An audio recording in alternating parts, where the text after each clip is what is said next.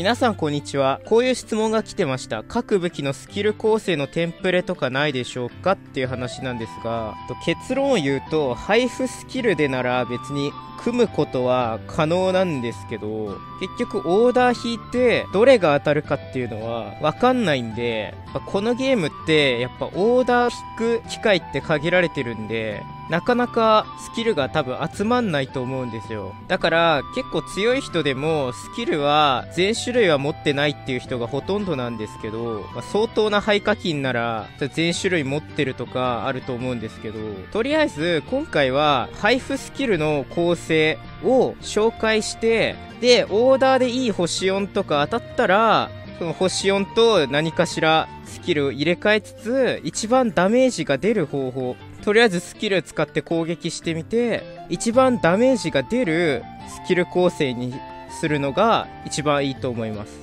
ただ、その前にちょっと注意点なんですけど、同じセット内でってスキルレコードに書いてあるとき、同じセット内でとか書いてあったら、メニュー、ステータス、プレイヤー装備のセット1、セット2ですね。このセット1、セット2ずつで別々なんで、あとはメニュー、システム、ヘルプ、アクション系、ちょっと下行くと、アビリティの効果ルールについてっていうのがあるんですけど、この攻撃強化4とか、ここ、カッコの中書いてあるじゃないですか。この攻撃強化4のカッコで囲まれたところの部分の文字が、同じものをつけた場合、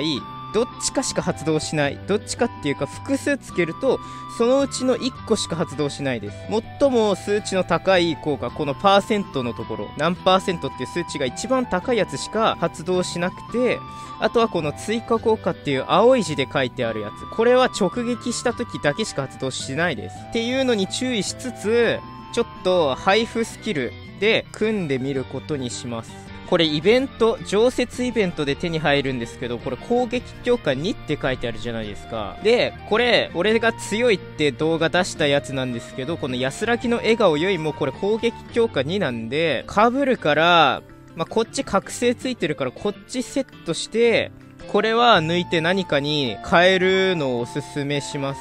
アビリティはこういう風になってたんですけど、まあ、これは、とりあえず星4だから入れてるっていうだけで、もっといいスキル効果あったら、これ全然何かと交換していいと思います。それこそ、なんか星4とかオーダーで出たら、これを抜いて何か装備するのもいいし、ただ、これ残属性の弱点ダメージが上昇するやつなんで、これも常設イベントのやつなんですけど、これ何層だっけ？これかなり上の層で手に入るやつなんですけど、これ精神統一3って書いてあると思うんですよ、ここ。しかし、これも精神統一3って書いてあるんで被るから、あまり入れたくはないので、まあ、とりあえず、こんな感じになったんですよ、アビリティ。でもこれはまあ変えていいっていうことで、アビリティは、この防具の欄に装備するスキルレコードなので、どの武器種でも使えるから、まあ、とりあえず、こういう構成にしました。で、各武器ごとのテンプレっていうと、まあ、アビリティ以外になるんですけど、まあ、片手直剣は、だいたいこんな感じにはなったんですけど、これが初心者に良くて、これ星3で、常設スキルレコードって言って、だいたいオーダー引くとほとんどのオーダーに入ってる星3なんですけど、これ進化させると星4になるんで、星3なんですよ、レアリティが。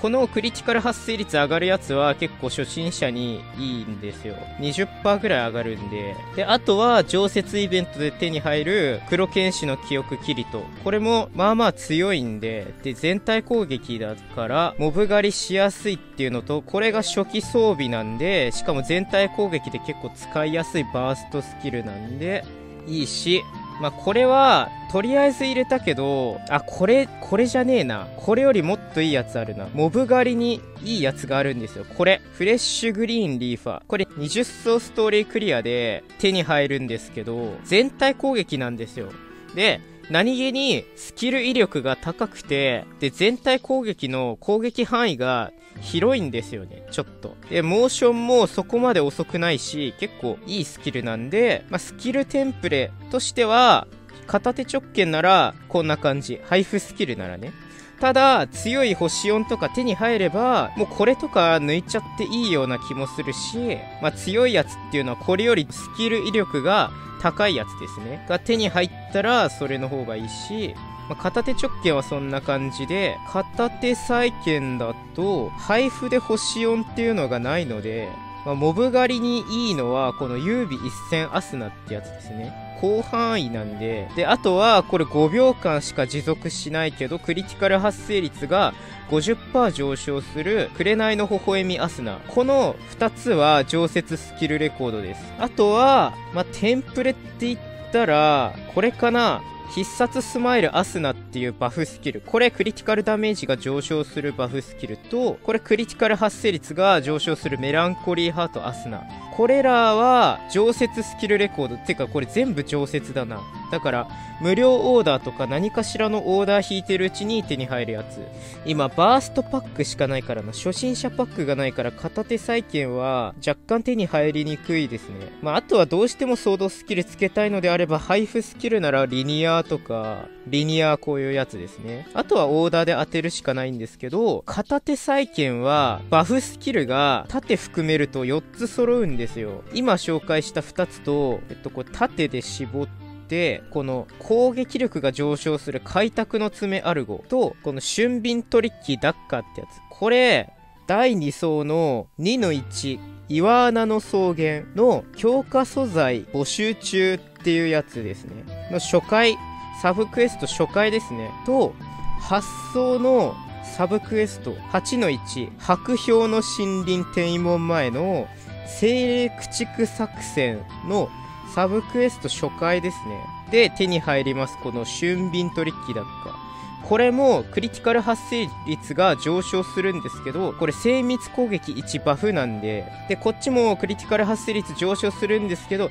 精密攻撃2って言ってさっき1だったと思うんですけど、1と2で被んないんで、重ね掛けが可能なんで、これバフスキル4つ揃えて、例えば、掲示板の前とかで、これバフスキルを4つくらい発動させて、まあこれちょっと順番は、効果持続時間長いやつから発動した方がいいんですけど、こうやってバフいろいろ発動してから、このオレンジのボタン、これクイックチェンジって言って武器を持ち替えて、で、掲示板入って、まあ、ボスと戦うとか、そういうことができますね。迷宮区なら迷宮区のボス部屋の手前で、こういうバフを全力で自分にかけてっていうことができます。次、片手コン。片手コンが一番困りますね。なんでかっていうと、片手コンの星4で、今、配布だけで手に入るスキルレコードって、これくらいしかなくて、これモーションめちゃくちゃ遅いし、ちょっと初心者にはマジで使いにくすぎるんで、なんて言ってもこの片手コン、配布の星4で全体攻撃が1枚もないし、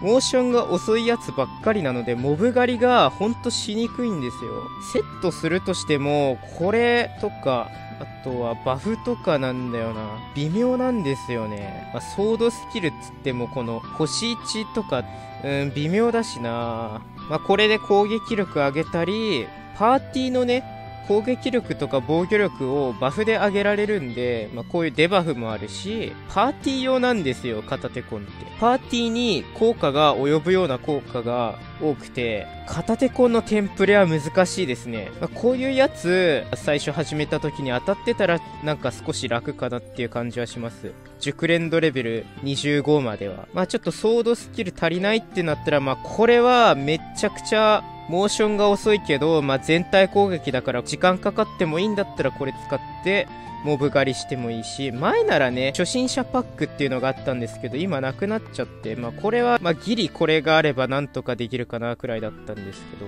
まあ、片手コンは難しい。あ、探検、次探検なんですけど、探検はかなり配布スキルだけでも組みやすくて、もうね、全体攻撃2つあるだけでもかなり。このルジンのダガーリュール。これ全体攻撃で、全体5連撃って書いてあるんですけど、モーション結構速いし、すごくいいし、まあ、これは、スキル威力ちょっと微妙なんですけど、全体攻撃で、モーションも速いんで、この2つあれば、モブ狩りは結構いけるんじゃないかって思うんですけど、まあ、あとは、配布だと装備候補がないですね、あんまり。つけるとしたら、縦スキルになるのかな？やっぱさっき言った、こういう攻撃力が上がる縦スキル、バフのやつとか、まあ、あとはこれ、何でもいいんですけど、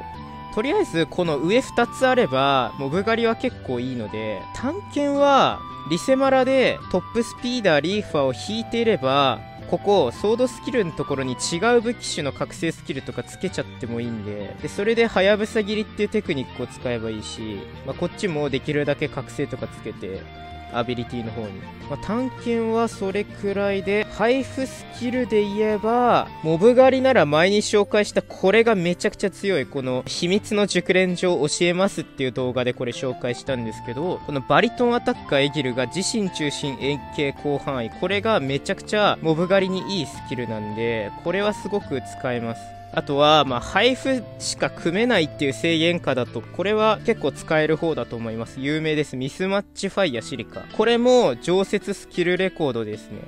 これは、13層だっけ？どっかで手に入るスキルなんですけど、やっぱ13層ですね。13層クリアで手に入りますね。秘められた真実待てる。これも常設スキルレコードですね。まあ、あとはビビたるもんですけど、こういうので最大 HP 上げたりして、ミスマッチファイヤーシリカってさっき言ったやつ、これの追加ダメージ上昇させたり、これが撃つと敵に当てた攻撃がクリティカルになりやすくなるんですけど、これデバフなんで、パーティーでも使えるし、なんか周回の時にちょっとクリティカル発生率足りないなっていう時、これちょっと添えてもいいっていう、ちょっと便利なんですよね。で、今回入れてないんですけど、この熱烈スミスエギル。これ、星1なのに上級者でも使うソードスキルです。これ、星1なんで消費 SP が少ないし、クールタイムがめっちゃ短いんで、こういうハヤブサ切りやるときにこれバーストで発動させて、この巨人の帰り気温バフっていう効果を発動させて通常攻撃の威力が上がるから、それで通常攻撃を連打するっていうテクニックなんですけど、ハヤブサ切りが。で、とにかくこれさえ発動すればいいから、間にこれ挟んで、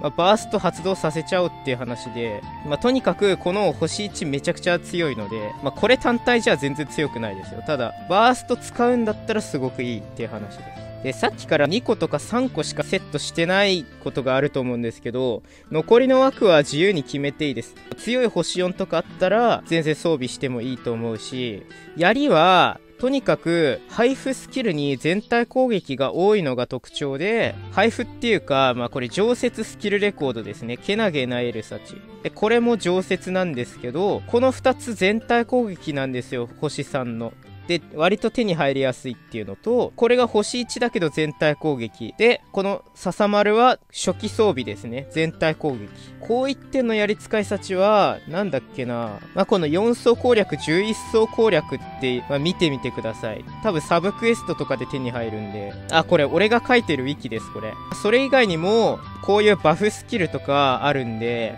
こういうやつね。使ってもいいし、まあそういう感じですね。うん、そういう感じ。あと、弓のテンプレはめっちゃむずいな。弓で配布って言うと、かなりきつい。使えるのこれくらいしかない気がしますね。あと、モーションがめっちゃ遅いっていうか、星3とかあるんですけど、いやでも4つしかないですね。つけられるのが。うん、組むとしたらこれぐらいになっちゃうんですけど、まずこれが常設スキルレコード。これは、あの47層最後のラフコフ戦で使えるって多分紹介したと思うんですけど、これがなんだっけ？一層のサブクエストだっけ？あ、ちょっと動画が長くなりすぎてしまうので、まあ、参考の記事とか貼っておくんで、入手方法とか。まあ、あとはこれが常設ですね。で、縦は、まあ、縦だけとかできないんで、まあ、スキルテンプレとしてはそんな感じなんですけど、配布で組むとそういう風になりますね。だから、強い星4とかあったら、ちょっと入れてみたり、まあ、さっき言った効果ルール、アビリティの効果ルールとか、